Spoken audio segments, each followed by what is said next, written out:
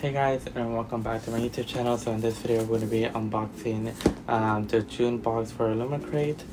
So let's go ahead and open this up. So here's what it looks like in the inside. Okay, great. So this month theme is Fight for Your Future and next month theme is Into Deep. I keep dropping it, so we're just gonna forget about that. So, the first thing that I can see is a box, which it says exclusive mug. So, there's clearly a mug inside here, and the packaging for this box is really nice. Um, it says hidden promises on the box. Let's go ahead and open this up. And Okay. So I like getting mugs in subscription boxes just because I love collecting mugs. Um, and the mugs that Illumicrate does are usually so pretty. So here's the mug, and this is such a beautiful design. Uh, this is actually my first um, Illumicrate mug, so I'm very happy with that.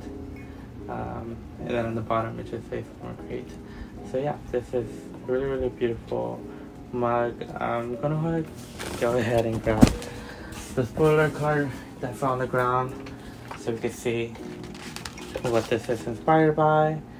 So this is inspired by Girls of Paper and Fire, a book I have not read yet, but I do like the design of this mug quite a lot, so I'm very happy with the mug. So the next thing that I see is this. Um, let's go ahead and take this out. I think it's a passport cover thingy. Um, so yeah, it says the planet was beautiful, the planet was horrible, the planet was full of people, and they were beautiful and horrible too by Becky Chambers. Um, so yeah, it's just like a little passport holder thing. Um, I think it's cute. It's nice. Um, and let's go ahead and see what it says. Who designed it? I mean, was inspired by. Uh, it seemed to be inspired by a Closed and Common Orbit. So, whatever that is, um, I probably will get zero use of this just because I don't really travel that much. So, yeah anyways um, then we have the book and the author letter but underneath that before we get into that we still have two more items the first thing here is bookends um, and if I'm being honest I'm not a fan of these so yeah I'm just not really a fan of this color or design really um, I enjoyed what we got in our FairyLoot a couple months ago uh, with the bookends, but this ones I I'm just not a fan of them. Um, so yeah, but I guess they're nice for some people. Um, but personally, I just won't use these. Uh, yeah. Um, those are inspired by. Uh, um, Jade City, uh, which is a series that I'm not interested in ever reading.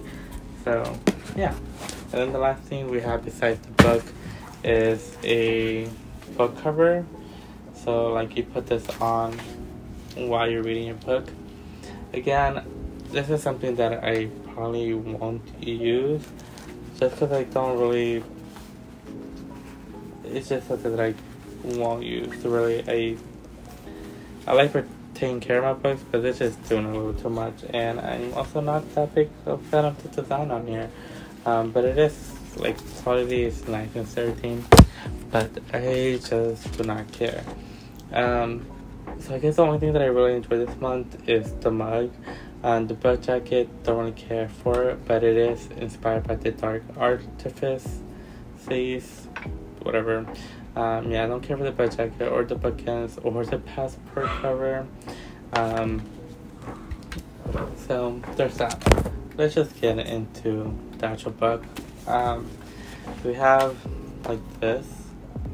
Um, and then behind it we have the author's letter on behind it. Now I heard um, some things about this book with treating the BIPOC characters pretty horribly. So I don't know how I feel about that. Um, I'll read it and then I'll see how I feel. But um, those didn't really change that much to this book. Um, so we have the regular cover here.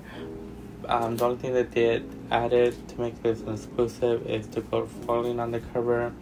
Um, and then we have the stencil edges, um, which are really, really nice. I do like them.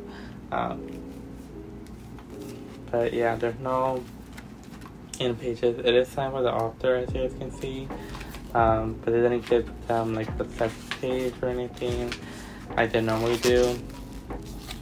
Yeah, there's no in pages, and then they didn't do anything underneath the dust jacket or the hardcover. Like there's no gold foiling or anything.